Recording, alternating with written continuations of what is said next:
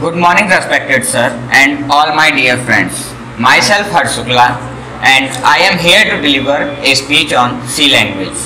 So, हम आगे अपने सी लैंग्वेज प्रोग्राम के बारे में कुछ पढ़ने से पहले कुछ छोटे छोटे टर्म्स के बारे में जानेंगे जैसे programming program programmer programming language compiler and IDE so इसको हम समझेंगे एक एग्ज़ाम्पल के थ्रू तो हम एक सिनेरियो बनाते हैं, जिसमें आप अज्यूम करें, एक लड़का है, वो एक स्कूल में पढ़ता है, और वो केवल हिंदी लैंग्वेज जानता है, लेकिन वो जो, जिस स्कूल में पढ़ता है, वो इंग्लिश मीडियम है। तो एक दिन उसके प्रिंसिपल उससे कहते हैं कि हमको एक स्कूल में एनुअल फ़ंक्शन कराना है, जिसमें बहुत सारे प्रोग्राम्स होंगे, जैसे डांसिंग सिंगिंग एट्सेट्रा तो उस लड़के को वहाँ पर एंकर का रोल मिलता है। तो वो एक कॉपी पर एक पेन से लिखता है कि पहले उसको अर, आ, कौन से प्रोग्राम्स कराने हैं जैसे कि डांसिंग उसके बाद सिंगिंग और भी आदि चीज़ें। तो अब हम जानते हैं इसमें प्रोग्रामिंग क्या है? प्रोग्राम क्या है? प्रोग्रामर कौन है? प्रोग्रामिंग लैंग्वेज कौन है? आईडीई क्या है? और कंपाइलर का क्या रोल है? तो जैसे कि हमने स्टोरी में देखा, जो एक लड़का था, वो हम लोग एज्यूम करते हैं कि वो एक प्रोग्रामर था। क्यों? क्योंकि उसने सारा का सारा अरेंजमेंट किया। उसने एक कॉपी पर, हमें यहाँ एक कॉपी को एक आईडीई मानते हैं इंटीग्रेटेड डेवलपमेंट किट जिसपे इसके कुछ एग्जांपल्स हैं turbo C plus plus Eclipse and etcetera तो अब हम देखते हैं प्रोग्रामिंग लैंग्वेज क्या है। जैसा कि हमने बात किया कि जो लड़का था वो केवल हिंदी जानता था तो वो हिंदी क्या हो गई? एक लैंग्वेज हो गई। ऐसे ही कंप्यूटर में कुछ प्रोग्रामिंग लैंग्वेज होती हैं, जैसे C language Java and etcetera अब हम लोग देखेंगे कि इसमें कंपाइलर क्या हो गया। जब वो लड़का हिंदी लैंग्वेज जानता था, लेकिन उसको स्कूल में इंग्लिश में एंकरिंग करनी थी तो उसने हेल्प किसके लिए? डिक्शनरी की। तो वो जो डिक्शनरी का रोल है, वो कंपाइलर करता है।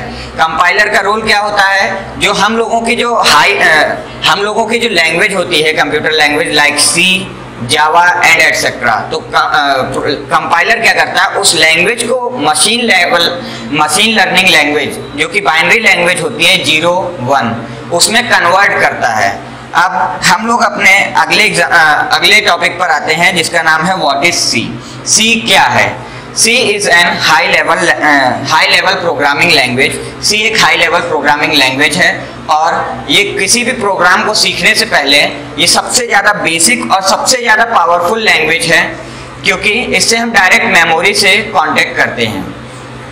अब हम आते हैं अपने दूसरे टॉपिक पे history of C history C is developed by Dennis Ritchie at Bell laboratories as at AT&T American Telephone uh, Telephonic and Telegraphic USA is developed in seven, uh, 1972 Dennis Ritchie is also known as the founder of this C before C language क्यों बनाया गया? अब हम इस topic पे बात करते हैं कि सी लैंग्वेज क्यों बनाया गया।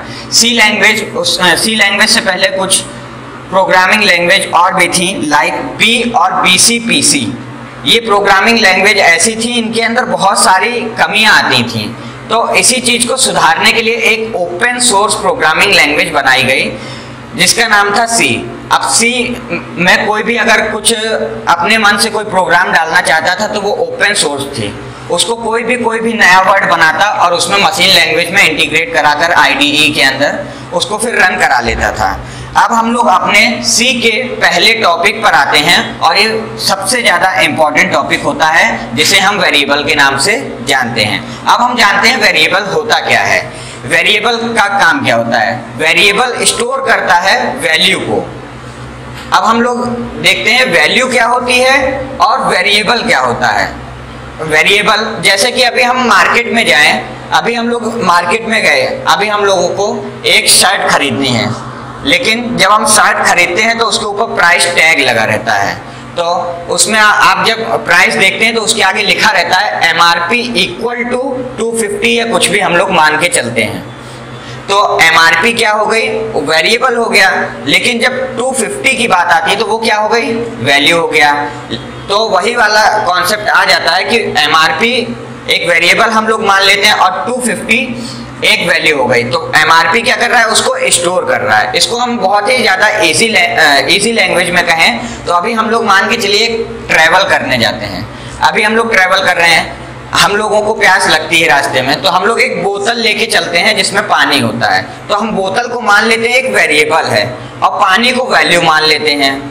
तो जब बोतल के, बोतल वेरिएबल है, और पानी उसके अंदर स्टोर हो रहा है तो वो क्या हो गया? वेरिएबल के अंदर कोई भी वैल्यू स्टोर हो रही है। अब हम वेरिएबल क्यों लेते हैं? क्या है उसकी इंपॉर्टेंस उस पर बात कर लेते हैं।